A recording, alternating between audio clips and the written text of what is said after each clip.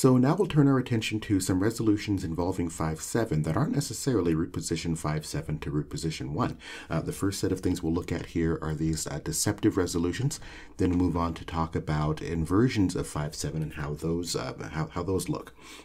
So back with deceptives, you should remember from our discussion of deceptive cadences that we're talking about uh, resolutions that go from 5 to 6, right, and, and, and defying 1. Well, now we have the amplified version of 5 and 5-7 that goes to 6. And similar to when we were looking at the cadences, uh, we can see that the voice leading is actually pretty similar to the way it works uh, moving into the 1 chord, especially in example 1 here.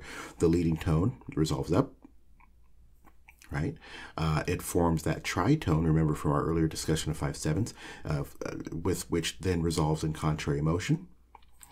The second scale degree resolves down to the first scale degree. Okay, so the only real difference from going to one that we have is the bass, which now resolves up to to the scale to the sixth scale degree rather than to the first scale degree, right? And that's where you get that deceptive motion. Okay, so that's uh, you know the the, the simplest, uh, most straightforward example of deceptive resolution. Uh, we also have this other one though, and this is really quite interesting, right? Where we have the exact same setup between cadential 6-4 and uh, 5-7 in terms of the voicing, but the resolution is different.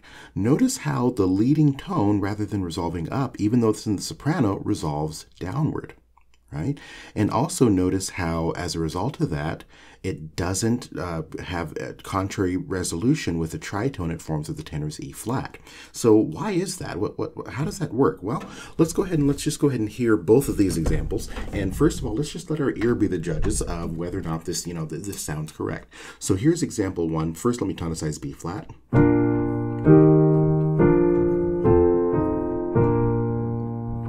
All right, so here's that example one cadential 6-4 to 5-7 to a deceptive 6. Okay, let's hear that again.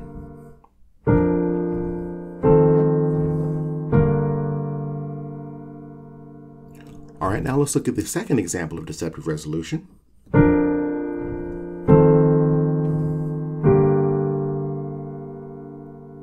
Let's hear it again.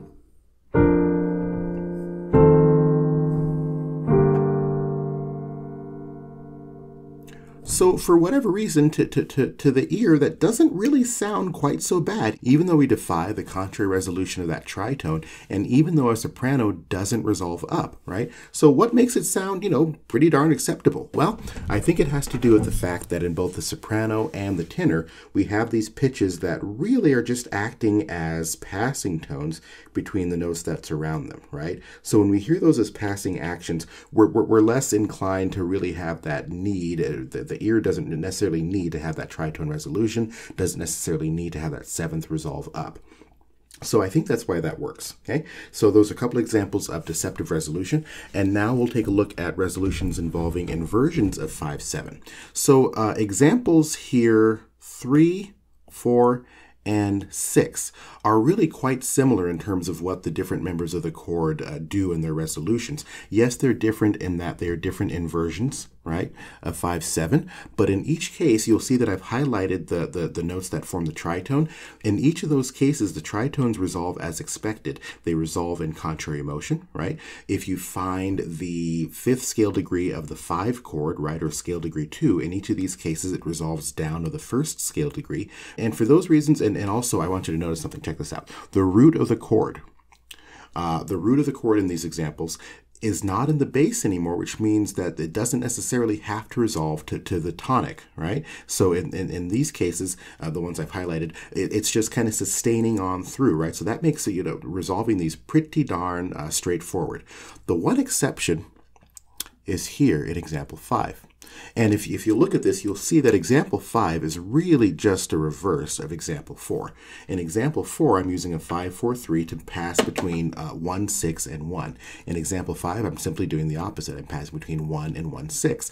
But the voice leading, because I'm essentially doing this kind of this retrograde here, that this, this backwards motion relative to 4, it's going to be different. I no longer have the tritone resolving in contrary motion. They're resolving in, sim in similar motion right? The second scale degree, rather than resolving down, resolves up. So why did we do that, right? Well, well, let's take a listen. I'll go ahead and play example four, then example five. First thing I'll do is I'll go ahead and tonicize uh, the key of C minor.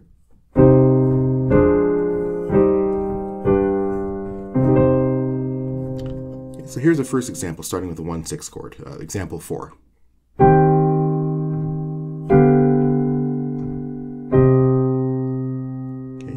With all the expected resolutions.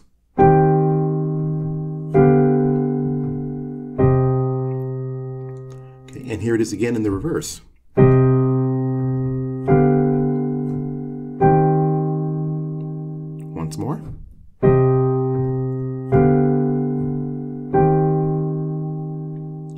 So to the ear, neither one of those seems so offensive, even though the example five seems to be breaking a whole lot of our, our of our usual rules, right? And there's one other rule that is kind of that, that, is kind of defying, and I want to point that out for us. Notice how we have between the soprano and the tenor in example five on that five four three chord, we have a fifth, and then it goes to another fifth in the one six chord right? Uh, and, and we should remember this from our early study of voice leading that, well, what is it? It's parallel fifths, isn't it? Right? Because we have a fifth uh, in, in between two voices that maintains itself as both voices move in similar motion, or excuse me, in parallel motion to the next chord. But why didn't it have that irksome sound to it? Why was it acceptable to the ear? Well, let's look at it a little bit closer. In the first, uh, in the first fifth, in the, in the five four three chord, we have a diminished fifth, and in the next one, we have a perfect fifth. So it's already different from what we often encounter in terms of both being perfect fifths, right? This is what we call unequal fifths. And this is actually acceptable in certain circumstances in voice leading, including, you know, this kind of motion from 5-3 to 1-6. It's acceptable as long as the bass is not involved in that uh, in that unequal fifth, right? So here we have it between the tenor and the soprano, so it works. It, it, it won't kind of have that jarring sound to the ear. As long as the bass isn't involved and, and there's good voice, voice leading rationale for it, we can accept unequal fifths. So I just wanted to point that out. Uh, one final thing I will say about the inversions of 5-7.